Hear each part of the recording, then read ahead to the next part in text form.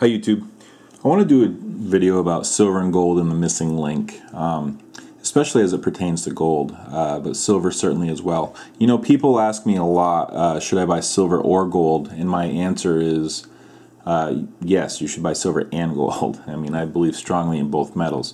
Obviously, when uh, you know silver is available to everyone at a, at a very reasonable cost. I mean, you can buy a mercury dime for just a couple of bucks. And uh, you know, with gold, I, I, you simply can't ignore the fact that the governments of uh, China, Russia, and India are buying everything that they can. You know, and that's by design. We, we, have all discussed this, but there's a lot of things around uh, around gold that that smell. Okay, obviously Germany trying to get their gold back, and and the rate that it's going is uh, you know glacially slow. Okay, and the and the fact that uh, you know, Germany had some old bars in there and they're getting new bars back. It's kind of a, you know, there's something that smells there, okay? And, and you can't help but wonder at some point, you know, this will kind of all blow up. Maybe it won't, but you just can't, it, things can't keep going the way that they are without something coming to light with the gold market. So I'm a big believer in gold as well, and uh, you know I'm, I'm, I'm telling you I'm, I'm loving buying these coins at spot. It's beyond a no-brainer to me. I love these. You know when you when you think about fractional gold and you realize that if the price ever does, if, if gold ever reaches its price discovery like we think it will, you know, uh, fractional gold is going to sell for a premium because people won't be able to afford a full ounce. I mean, it's trouble. It's hard now buying a full ounce of gold, and uh, so I think you're going to see price appreciation or, or premium appreciation rather on the fractional gold coins. And when you think that, like when you buy a one tenth ounce now, you have to pay quite a premium the fact that I can get these for spot, again, it just enters no brainer territory. The question will be when I have to pay full retail, is that what I'm going to do? Well, you know, I'm getting kind of spoiled. I'm getting kind of spoiled by eBay subsidizing my purchases. So who knows? We'll, we'll see what happens. But, you know, I'm going to milk this cow as long as it's there.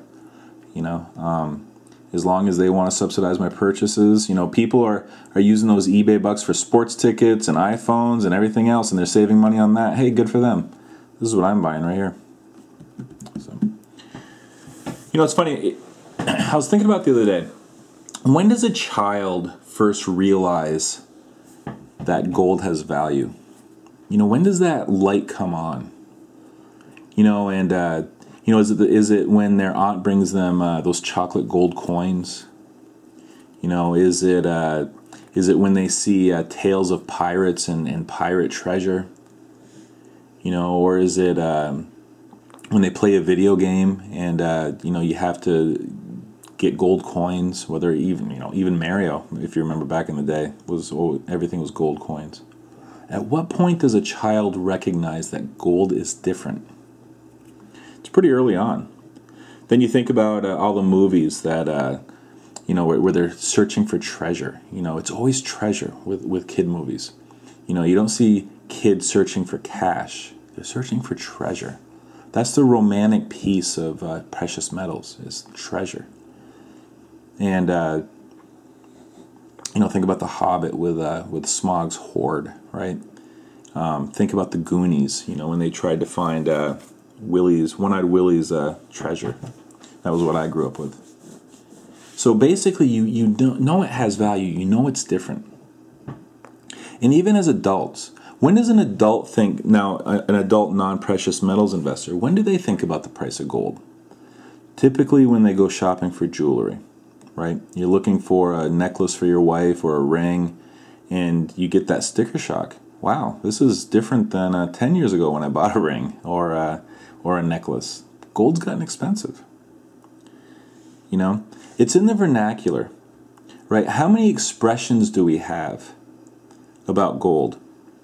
When something is a tremendous value, it's worth its weight in gold, right?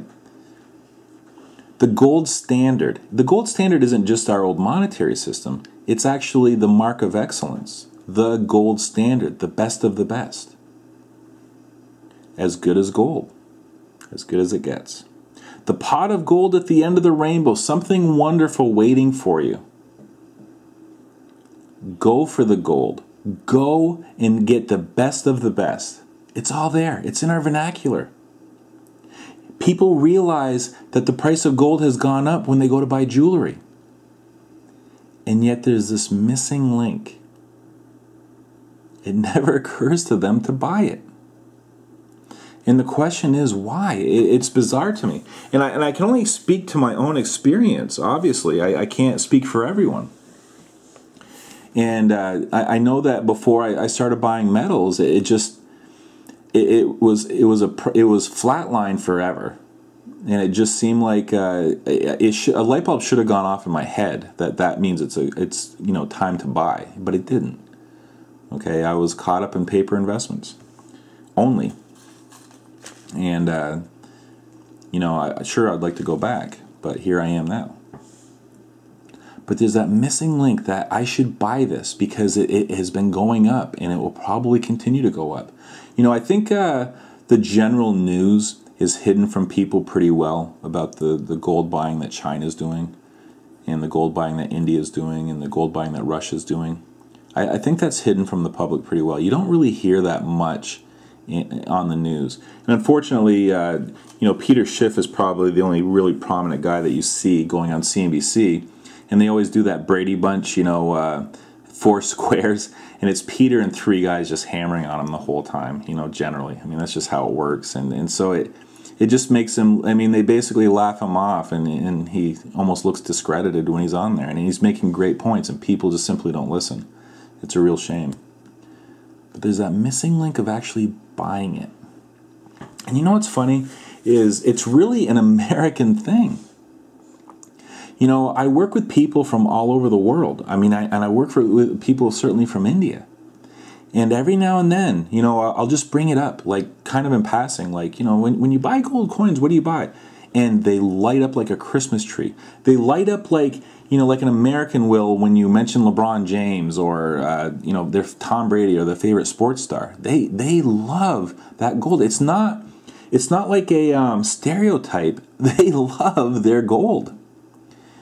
You know, um, when you when you talk to somebody that's uh, from Europe, they understand the value of gold. I remember um, a Mark Dice video where you know he was trying to do the uh, I think it was silver actually. He was trying to give away for a dollar and it was a European that bought it. Now, understand the Mark Dice videos, who knows how edited they are and everything else, fine, whatever. But it was ironic that it was somebody from another country that recognized the value of it before the Americans.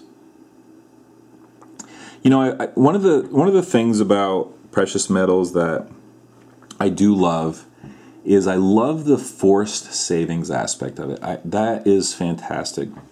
And it got me thinking when you think about the wealth of the people in this country, how much of it is built up through payroll deductions? Okay, if you think about like an employee stock purchase program, okay, a lot of people have an ESPP at work, okay, and how many people are signed up for that? I think quite a few. I, it's it's very convenient. You know, I, am at work and, and my employer offers stock, and maybe sometimes there's even a little incentive it used to be really good, but they start they passed some laws about uh, stock options, and it actually affected the employee stock purchase program of a lot of places. So they they um, they cut back the benefits of doing that. But a lot of people do contribute to company stock. A lot of people obviously give to their 401k. I wonder how many people are actually doing their monthly budget and taking money out of that and sending it into their brokerage account you know, versus um, versus the employer, uh, you know, um, the uh, oh, for God's sakes, when the empl- the uh, when the employer takes money out of your paycheck. Sorry, I forgot the word. Uh, I wonder how many people are actually doing their family budget to a point where they're actually taking the leftovers and sending it into the brokerage. You know, I know people obviously invest windfalls when they get that, but how many people are disciplined enough? That's the great thing about the silver and gold is, is when you buy it, it's that forced savings. I love that aspect of it. I don't know, just food for thought. I, I just wonder, uh, you know, people know the value of it. People know the value has gone up. People that see it find it beautiful, and yet they don't take that extra step. There's that missing link And uh, you know, is it, I, am not sure if it's just an American phenomenon, but I know that obviously uh, it's seen a lot different in uh, in China and India. You know, people uh, see these we buy gold places everywhere, so it's it's it's on people's mind. You, you can't help but have it on your mind, and yet they don't pull that trigger. I find it fascinating. All right, guys. Talk to you later.